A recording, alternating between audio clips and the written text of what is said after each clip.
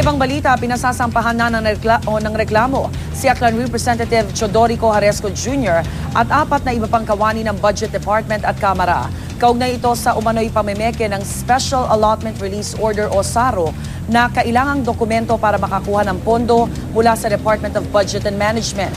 Itinanggi naman ni Congressman Haresco na sangkot siya rito. Narito ang report.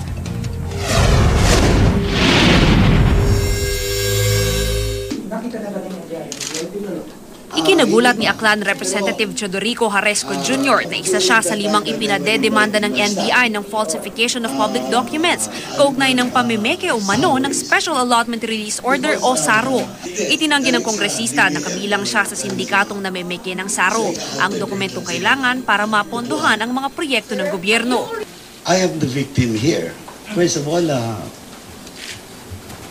we were the ones who complained to the NBI.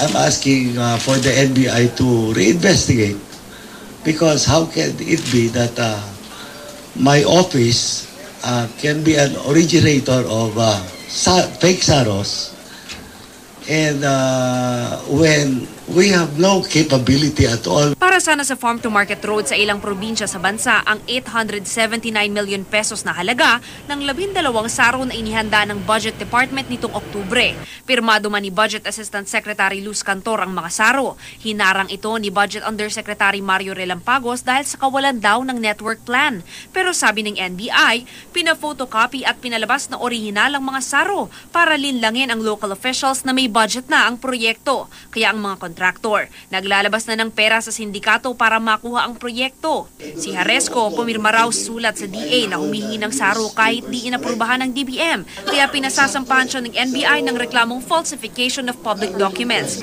Obstruction of justice naman sa konsultant niyang si Mary Ann Castillo dahil di raw nakipagtulungan sa NBI. Wala pang tugon dito si Castillo falsification of documents, paglabag sa Anti-Graft and Corrupt Practices Act, at paglabag sa Code of Conduct for Government Employees naman ang haharapin ni na LV Rafael, Bernie Beltran, at Emmanuel Raza, staff ni Zamboanga City Representative Lilia Nuño.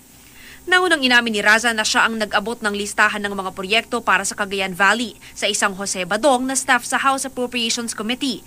Pero nakuha lang daw niya ang mga dokumento kay Rafael, the driver ni Budget Undersecretary Relampagos. Si Badong na ang nagbigay ng mga dokumento kay Abraham Pelonio, Chief of Staff ni Cagayan Representative Aline Vargas Alfonso, na siyang nag-email nito sa isa pang staff ng kongresista sa Tugigaraw kung saan nadiskubring peke ang mga saro. Pero sabi ng DOH at NBI, tuloy ang kanilang investigasyon. Wala kasing malinaw na mekanismo ang Budget Department para tiyaking di napupunta kung kani-kanino ang mga saro. Di pa raw lusot ang ibang taga-DBM kasama si Relampagos.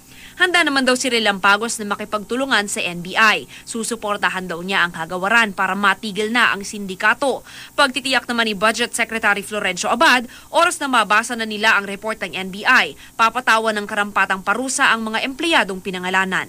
Para sa unang balita, Mav Gonzalez reporting.